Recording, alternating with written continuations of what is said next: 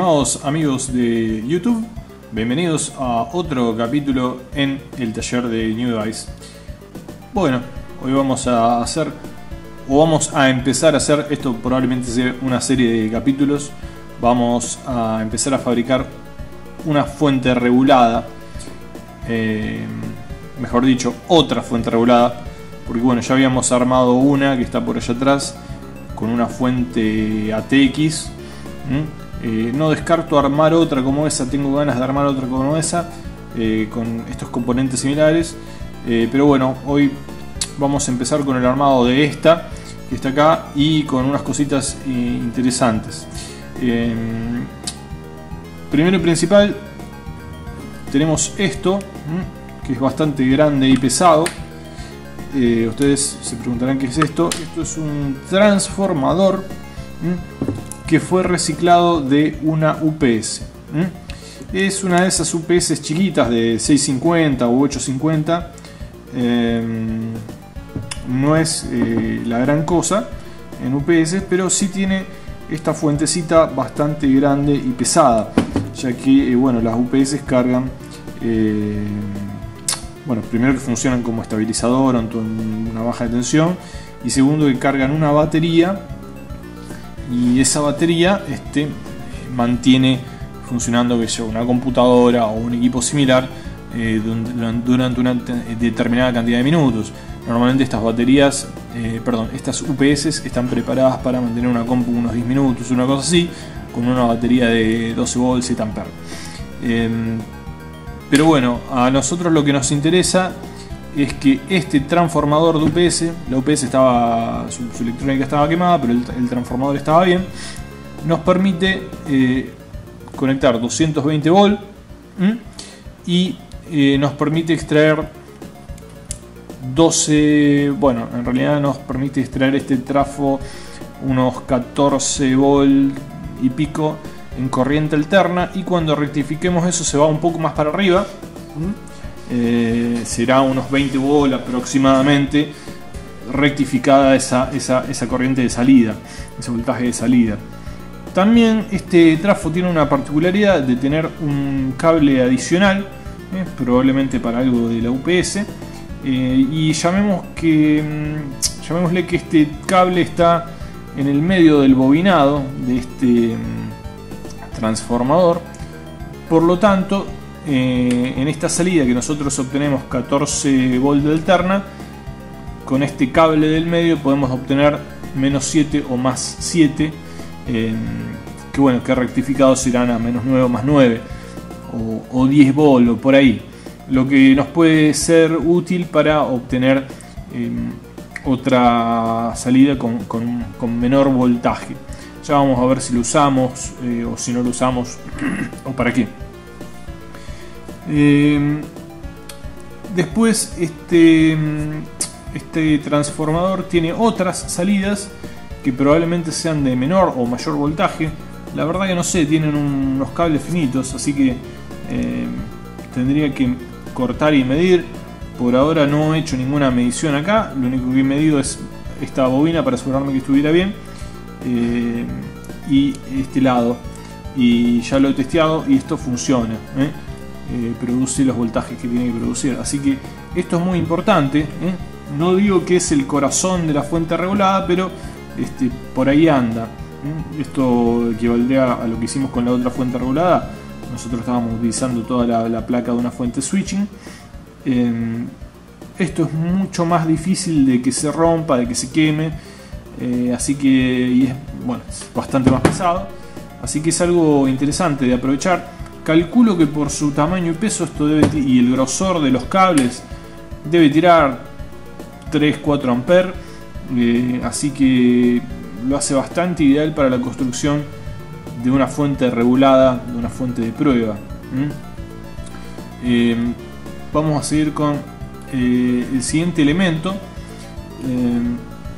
yo acá en este momento no tengo todos los elementos en vista, pero bueno, lo, que va, lo que vamos a, sacar a la salida de esto va a ser una corriente rectificada.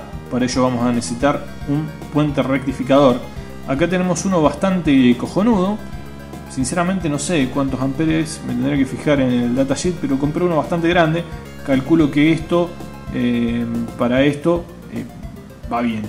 Así que, eh, bueno, eso, vamos a suponer que va bien. Cojonudo, si esto tira 3-4 amperes y esto se banca 6, 7, 8 amperes, tal vez 10, no sé.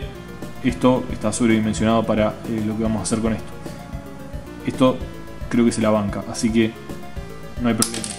Lo que nos haría falta también es eh, algunos em, capacitores electrolíticos para poner a la salida de esto.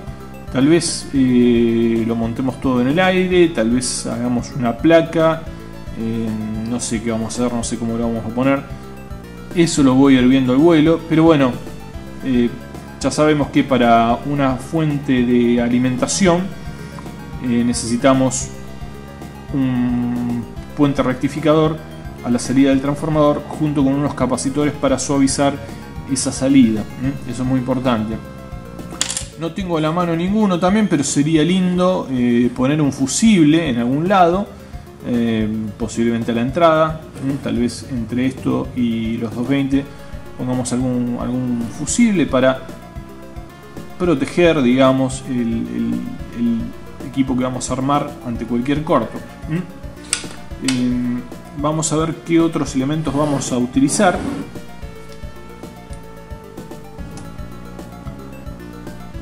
Siguiendo con la parte interna de lo que es lo que va a ser la fuente regulada, acá tenemos un eh, circuito eh, Made in Wakanda, este, 100% Pure Chinesium. Eh, esto que están viendo, que viene desde la venerable República de China, es un, eh, es un circuito que se llama eh, Step Up, Step Down o Step Down Booster Circuit, algo así.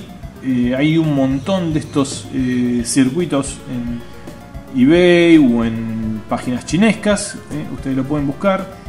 Yo compré esto porque quiero utilizar esto para fabricar eh, mi fuente regulada. Ya en, la, de nuevo en la fuente regulada anterior habíamos utilizado un, LED driver para regular el voltaje y, la corriente. Esto yo no sé si se llega a apreciar acá en cámara, vamos a tratar de ver. Tiene eh, para saltear voltaje, corriente constante y esta otra cosa acá que no tengo la menor idea de qué es, pero ya lo vamos a ver yo creo que eh, utilizando dos potenciómetros, eh, vamos a utilizar dos potenciómetros, vamos a poder regular el voltaje y la corriente constante de salida, que es lo que queremos que esto nos entregue. Si bien esto parece chico, es bastante cojonudo, por lo que tengo en entendido en las especificaciones, soporta unos cuantos amperes y si se le va a dar un uso intenso recomiendan ponerle algún ventilador, algún disipador. Yo no creo que haga falta ampliar esto para el uso que le vamos a dar, porque esto no va a estar prendido constantemente, no va a estar prendido las 24 horas, sino que va a ser una fuente de prueba, ¿no es cierto? Em, una fuente regulada de prueba. Así que creo que esto va a ir al pelo también. Teóricamente está sobredimensionado para el trabajo que vamos a hacer. Em, tendría que buscar después bien las especificaciones pero creo que esto andaba soportando 8 amperes, una cosa así. Así que teóricamente, de nuevo, está sobredimensionado para la cantidad de electricidad que va a producir nuestro transformador. Así que muy importante, este, esto va a ser la parte de fuente regulada, lo que va a regular el voltaje de salida. Vamos a dejarlo por acá. Los, bueno, los mm, potenciómetros que vamos a utilizar eh, posiblemente sean estos. ¿eh? Estos son de 10K eh, normalmente estos potenciómetros multivueltas son de 10K, normalmente, puede que no. Si no, vamos a tener que buscar un potenciómetro. Si esto fuera de 100K, vamos a tener que buscar uno de 100K. Si fuera de 50K, vamos a tener que buscar uno de 50K. Poner el mismo para lograr este, las vueltas necesarias a la hora de regular. Inclusive les diría que para aquellos que tienen la oportunidad de comprar algún potenciómetro multivuelta eh, para regular mejor, este, le va a venir el pelete. Lo que vamos a agregar también para mejorar un poco el aspecto visual son estos Canov, manijitas ¿eh? que van acá en el potenciómetro. Después esto quedaría lindo, agradable a la vista. esa es otra cosa que le vamos a agregar. Pero bueno, por ahora lo vamos a dejar por acá. Y tenemos... Eh, ah, perdón, me estaba olvidando. Eh, tenemos también eh, algo que va a ir acá en el frente del, en el frente del equipo.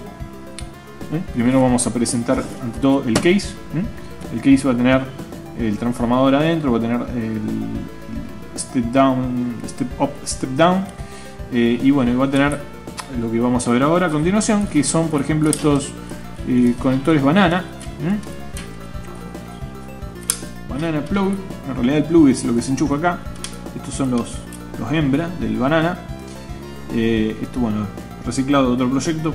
Posiblemente los utilice porque me gusta que son más chiquitos. Si no tenemos estos más grandes, que a lo mejor los utilice, no sé, estos eh, se pueden enchufar los banana plug o acá en el medio permiten ajustar y agarrar un cable. Los hace interesante para, para varios proyectos, inclusive audio. No sé si voy a utilizar estos, muy probable utilice estos, a mí me gustan más. Eh, lo voy a ver en el vuelo de nuevo, no lo voy a ver ya. Hablamos del case. Ah, y por último, y no menos importante, son estos dos adminículos. Esto es un voltímetro digital. Nos marca el voltaje funciona con, un conexionado de tres, cables, un ground común que es el negro, un rojo que es el positivo de alimentación y un amarillo que es el positivo de testeo. Eh, nosotros alimentaríamos un voltaje acá, esto creo que entre 5 y 15 volts funciona perfectamente. Eh, y aquí eh, iría la parte de medición donde esto toco otro positivo, mide el, voltaje que está, que está entregando. Así que esto sería el voltímetro.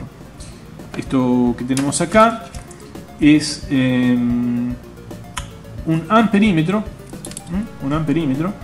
Notarán que tiene cables eh, más gruesos.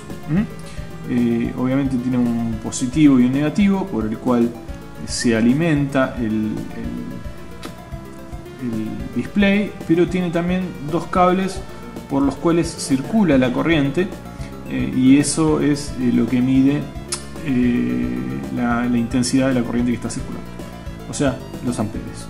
Em, ya vamos a ver bien el conexionado de esto, no es ninguna ciencia, de nuevo, hay dos cables que son de alimentación, probablemente el blanco y el negro, y probablemente el marrón y el azul sean los que por los cuales circula la corriente. Esto funciona con un shunt resistor. Esto no debe aguantar más de 10 A, es el mínimo. Eh, es el más chico que venía, digamos. Eh, el shunt está acá ya en el, aparatito, si no hay que comprar un shunt aparte, si ponemos uno más grande. De nuevo, 10 A para la fuente que nosotros estamos utilizando, que es, eh, ya les digo, debe ser de, de 4 o 5 A máximo este, está de nuevo sobredimensionado, así que con esto no vamos a tener problemas. Eh, así que bueno, esto sería más o menos un, resumen de los materiales que vamos a estar utilizando en esta nueva fuente eh, regulada. Eh, algunas cositas más, algunas cositas menos. Como les dije, faltan capacitores acá para, para trabajar pero bueno, luego ya lo vamos viendo. El gabinete es un gabinete plástico, común, eh, lo compré en Mercado Libre, mm, es lo más eh, barato que había y el más grande que había también.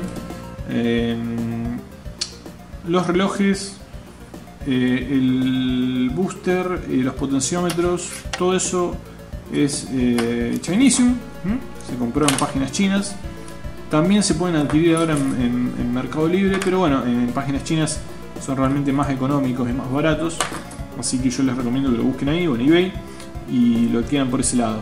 Sobre todo aquellos usuarios eh, y visitantes del canal que son internacionales, este, obviamente les conviene más comprar afuera que comprar acá. Eh, no creo que esto tenga un costo muy alto, estamos hablando de eh, tal vez 5 dólares. Eh, en total debemos tener 15, 20 dólares en materiales exagerando, teniendo en cuenta que reciclamos esto. Si ustedes no tienen una UPS rota, pueden buscar algún otro tipo de transformador que arroje un voltaje similar. De nuevo, mientras más grande el transformador, mejor, porque más amperaje, más carga va a soportar. Pero se puede hacer con cualquier cosa. Si quisiéramos, podríamos usar una fuente de notebook de 19 volt que también tiran 3-4 amperes y nos obviamos toda la parte de rectificación y todo eso y directamente lo conectamos acá. Eh, yo tenía esto y de nuevo quiero usar esto. Así que bueno, esta es la parte introductoria de lo que vamos a utilizar. Eh, por lo pronto eh, cierro este por lo pronto cierro este video acá y después vamos a ir con otro video en el cual ya vamos a empezar a mostrar parte del armado y testeo de todo esto eh, hasta finalizar con el ensamblado en el gabinete. ¿Mm? Espero que les haya gustado. Thumbs up, subscribe, share, activen las notificaciones que si no, no les llega nada. Y bueno, será hasta la próxima.